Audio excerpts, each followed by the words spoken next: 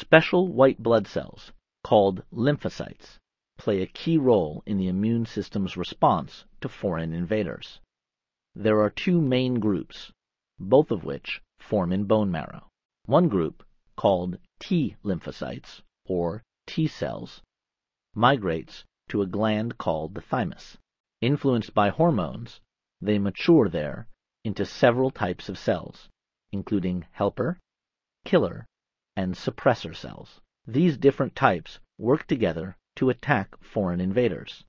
They provide what's called cell-mediated immunity, which can become deficient in persons with HIV, the virus that causes AIDS.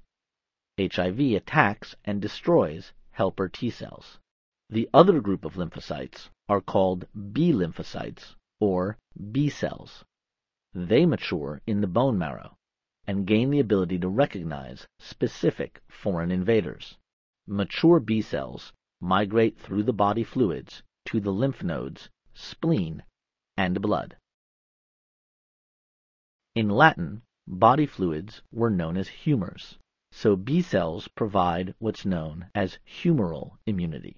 B cells and T cells both circulate freely in blood and lymph, searching for foreign invaders.